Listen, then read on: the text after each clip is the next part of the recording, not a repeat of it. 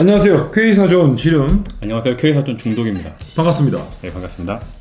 어, 오늘은 코잇에서 유통하는 마더보드를 소개할 시간이죠. 네네. 예, ASUS 제품. ASUS ROG STRIX B250F gaming 제품입니다. 네, ASUS의 ROG 라인 하면 어, Republic of Gamers, 뭐 네. 게임 공화국, 네네. 특별한 아이덴티티가 살아있지 않겠습니까? 네, 맞습니다. 고급 라인이라고 할 수가 있죠. 네, 그렇죠. 그런데 최근에 X299나 X399 뭐 하이엔드 뭐 보드가 많이 나오는데 왜 하필 B250입니까? 어, 이 물론 지금은 X299, X399가 좀 주목을 받고 있지만 네. 시장에서 가장 쉽게 접근할 수 있고 가장 잘 팔리고 있는 제품이 바로 B250 칩셋을 탑재한 메인 보드이기 때문입니다. 그렇죠. 그런 라인들은 막 70만 원, 막 이렇게 60만 원 보드가 비싸기 때문에 네, 맞습니다. 현실적으로 소비자들이 가장 구매를 많이 하는 제품이 B250 네, 그런 맞습니다. 제품이 될 수가 있겠죠. 네.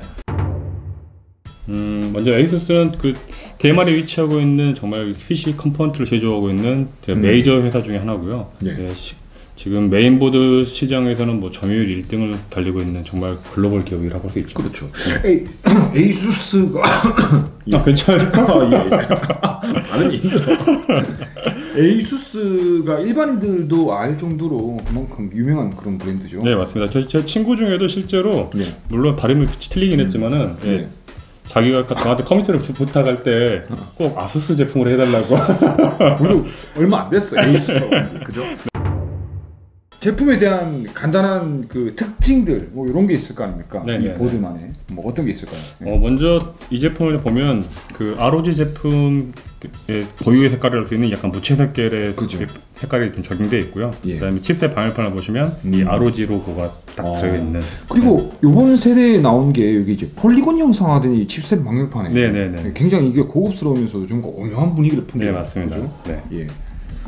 그외 주요 특징이 뭐 또 어떤 게 있을까요? 뭐그 특징으로는 이제 네. 뭐이 전원부 방열판도 STRIX 특유의 검은 디자인이 적용되어 음. 있고요. 네. 알루미늄 네. 고급스럽고 그리고 우측 상단에는 RGB LED가 적용되어 있고요. 네. 그리고 그 gaming 시리즈답게 예. 뭐 SupremeFX 이게 사운드 카드에도 그 예. Sonic Radar 같은 기능이 포함되어 있고 어, 그- 그리고 그 여유 메모리를 음. 이제 좀 RAM cache로 활용해서 performance를 끌어올 수 있는 그런 어. 다양한 gaming 기능들이 포함되어 예. 있습니다. 아, 이 Sonic Radar는 이제 예. 쉽게 말해서 게임을 하고 있는 도중에 음. 만약에 한시 방에서 소리가 들면은 음. 그 한시 방에 소리가 들린 위치를 모니터 상에 표시를 해줍니다. 어 위치를 이제 모, 디스플레이 상에서 이제 표시를 네, 한다고 네, 네. 아, 그게 내부 utility가 있습니까? 네네네. 그럼 FPS 게임이나 그런 게임들 할 때 sound play 그러니까 저쪽 뒤에서 살짝 접근하는 그런 네, 그, 그, 런 플레이는 뭐 어, 적들을 헤드폰- 포착할 수가 예, 있겠네요. 그러니까 기존에는 헤드폰을 착용해서 소리 소리의 방향을 음. 플레이어가 좀 체감하는 좀 그- 그런 분위기였다면 지금은 이제 이, 이 Sonic Radar 같은 기술은 아예 모니터상의 위치를 방향을 표시를 해주기 때문에 음. 이렇게 미니미를 봤을 때 우리 팬이 아니라면 당연히 적이겠죠. 어 이게 제대로만 구현이 된다고 하면 이건 게임에서 승패를 좌우할 결정적인 요소가 될 수도 있을 것 같은데. 네, 그죠? 요즘에 그 가장 음, 인기 많은 그 배틀그라운드 같은 게임에서도 이 Sonic 예. Radar가 적용이 되고 있기 때문에 음. 네, 정말 많은 유저들이 정말 요긴하게 사용할 수 있는 그런 주- 네, 재밌는 기능입니다.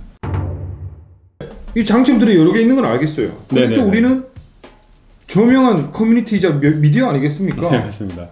단점 좀 까주세요. 네? 어, 단- 좋은 거만 쓸- 있을 수 있으니까 이제 또. 단- 다안 좋은 것도 있을 수 있지. 단점은 예, 물론 이게 좀 굳이 음. 찾자면 저는 좀 이 RGB LED가 예. 앞면에 있었으면 더 아이오 아머 쪽에 있었으면 더 좋았을 것 같은데 뒷면에 있는 부분이 조금 아쉽고요. 예. 예, 그리고 이, 이 가격대에서는 그래도 정말 쥐어 단점을 쥐어 짜내려고 지금 한 노력하는 게 보여요. 네네네. 자 그러면 큰 단점은 없다. 네. 그러면 그 뭐 가격 이런 거 가격이 어느 정도쯤 포진되어 있는지 그것도 음. 민감한 문제 아니겠습니까? 제품을 구매함에 있어서. 뭐 아무래도 이 제품이 B250 칩셋을 탑재한 메인보드이기 때문에 좀 가격에 더욱 민- 민감할 수 있는데요. 음. 어, 이 부분은 조금 아쉬울 수 있는 게 이게 예. 다양한 gaming 기능을 탑재하다 보니까 좀 가격이 B250 칩셋 메인보드에 비해서 좀 비싼 감이 있습니다. 음, 그렇죠. 네. B250 하면 좀 어느 정도 일반적인 제품 아니겠습니까? 네, 맞습니다. 쉽게 구매할 수 있는. 근데 네, 네. 그거는 그거보다 조금 더 높게 가격대가 포진되어 네. 맞습니다. 음, 굳이 지적하자면 단점이 될 수도 있겠네요. 요게. 네, 지금 가격이 저희 에누리 같은 그 가격 비교 사이트를 보면은 약 예. 16만 원 정도에 형성되어 있기 때문에 음. 예, 좀 다소 B250 보드 치고는 비싼 가격이냐라고 할 수 있죠. 음, 가격이 단점이다. 좀 아쉽긴 조금 아쉽네요. 뭐 그건 소비자들 판단할 거니까.